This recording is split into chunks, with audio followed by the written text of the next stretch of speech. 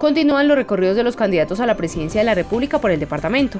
Esta vez, Sergio Fajardo acompañó la denominada Coalición Colombia, liderada por Claudia López y Jorge Enrique Robledo.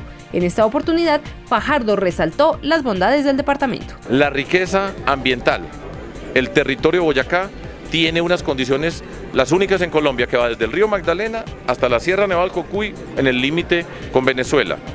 La riqueza de los páramos, la riqueza ambiental. Boyacá tiene el reto de cuidar esa riqueza ambiental, de cuidar los páramos porque es la fábrica de agua, de hacer una transición porque Boyacá es una tierra, con excepción del corredor industrial que hay entre Tunja, Duitama y Sogamoso es una tierra de campesinos. Frente al tema de la migración de venezolanos al país, aseguró que si bien es un problema del vecino país, es una obligación ética de Colombia recibirlos. Solidaridad con ellos es una obligación ética de nosotros en Colombia por las raíces y comunes que tenemos.